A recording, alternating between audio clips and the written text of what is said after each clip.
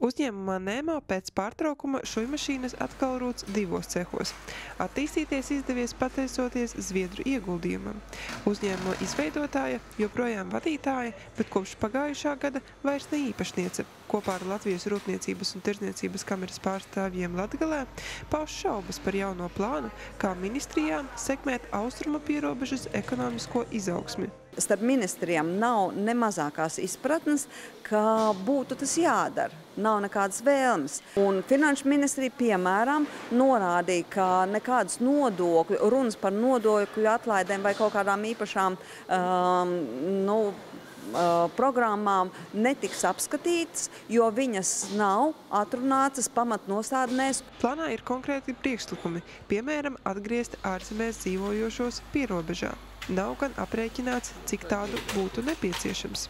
Uzņēmēja pierobežā apgalvo, ka grūti atrast jaunus darbiniekus. Piemēram, šeit jaunajā cehā, kur ražos telšu sastāvdaļas, radītas jaunas 30 darba vietas.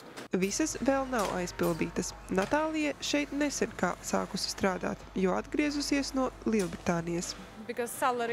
Alga ir pievilcīgāka tur nekā šeit. Cilvēki atgriežas tikai tāpēc, ka tur viņiem apnīk. Tomēr arī ar remigrantiem nepietiks. Uzņēmēja vērtē, ka nepieciešams motivēt Latgalē atgriezties arī tos, kas dzīvo Rīgā, mazināt darba spēka plūsmu no reģiona uz galvaspilsētu.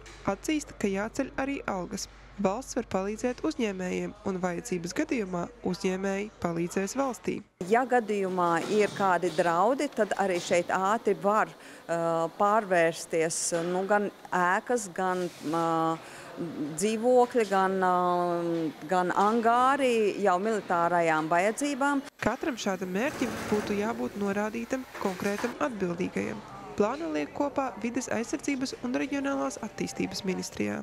Tajā ir iekļauts ļoti plašs tas vēlmju apjoms. Un, protams, mēs gribam visu un visu uzreiz, bet reāli tas nav iespējams, jo investīcijas tās, kas plānā bija pār par miljardu eiro, kura Latvijā droši vien nav iespējams tādas, tādu finansējumu uzreiz atrast. Kāpēc ministrija tagad izvēlēsies, kuras vēlmes ir prioritātes, un tad meklēs, kā to īstenošanai piesaistīt valsts vai Eiropas Savienības finansējumu? Dīnija Jemļanova, Māris Justs, Latvijas televīzija.